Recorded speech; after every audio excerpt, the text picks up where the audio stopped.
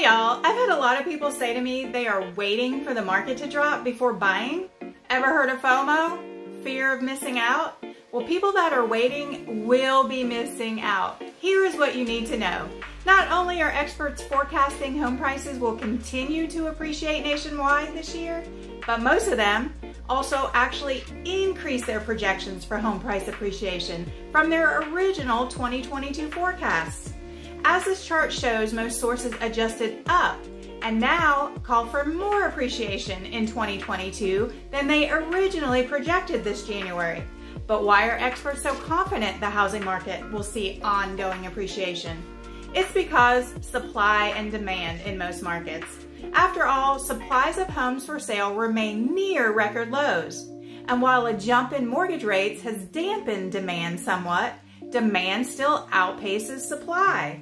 Knowing that experts forecast home prices will continue to appreciate in most markets and that they've actually increased their original projections for this year should help answer the question will home prices fall?